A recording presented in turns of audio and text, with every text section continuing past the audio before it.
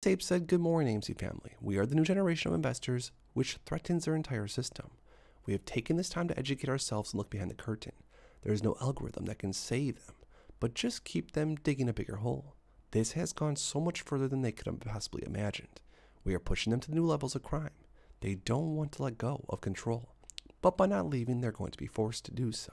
Now, comment down below if you agree with me that you first got into this play to make some quick money, just like I did, but over time it's become so, so much more. Let's be real, complaining about dilution is beyond ridiculous. Why?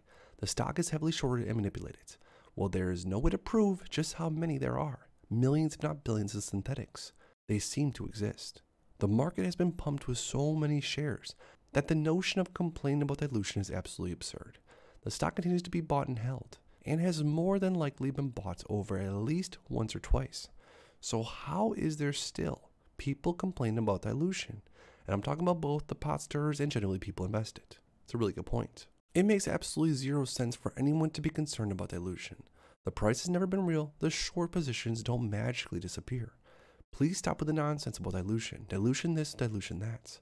We ran to all time highs with $70 per share. In summer of 2021, while AMC sold off millions of shares to raise cash. So enough already about the dilution nonsense.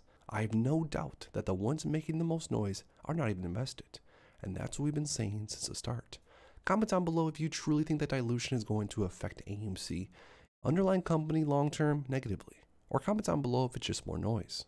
AMC squeeze may be closer than I think. Who knows? Truly, no one knows for sure. All we know is you need certain ingredients.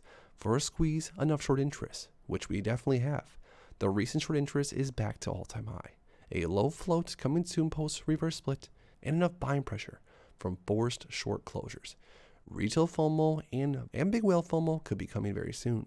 Make sure to check out all these other videos to catch up on all the latest AMC stock DD and information you need.